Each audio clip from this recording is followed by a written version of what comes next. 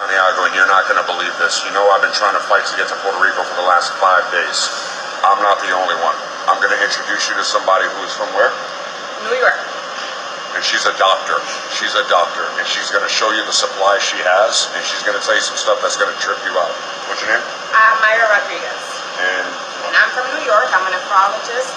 A lot of people know me as La Doctora Anzello. Um, I took it upon myself. I couldn't find my mom, my dad for six days. I know that, that my town in Puerto Rico has a lot of medical problems, and unfortunately, it's very far from San Juan, where the resources are. So we gathered some troops. We have about 30 doctors and more that want and are desperate to get to Puerto Rico. Okay, we just want to help. can you do me it. a favor and show us some of the stuff that you guys have? All right, so this is what I bought just to start. But I see I have um, several CPR masks for us. I have medications, masks, albuterols, first aid, antibiotics, emergency antibiotics. You could give them all the supplies and water and food, but they need this to live right now. And um, I'm not have a- that's 400,000. I'm not a reporter. I am I am with her.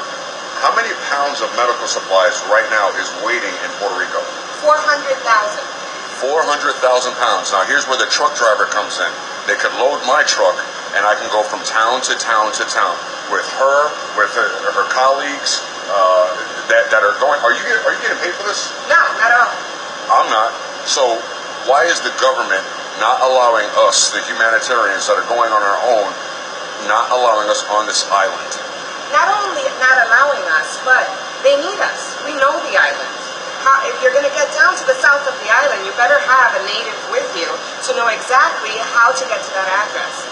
They need us, and we're not getting uh, where we need to get, which is to the island. I'm asking you over and over to share this because this is much bigger than uh, I anticipated.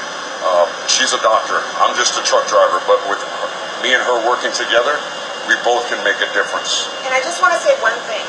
The hurricane is one thing. The aftermath of the hurricane, the fact that 911 numbers are still down in some municipalities. What happens when there's a medical emergency? How do you let anybody know?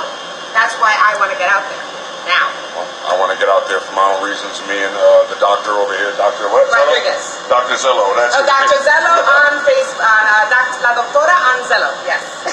Ask, I'm asking you how to circulate this over and over. She's going back to New York City. Are you going to give up? no.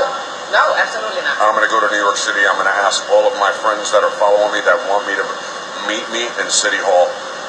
Not going to protest. It's not going to be no rioting. It's going to be peaceful, but meet me at City Hall. I'll let you guys know when I'm there.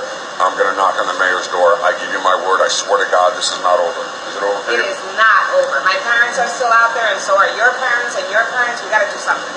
I love you all. Circulate this over and over. We're going to help Puerto Rico because we can't count on nobody but Puerto Ricans. Exactly.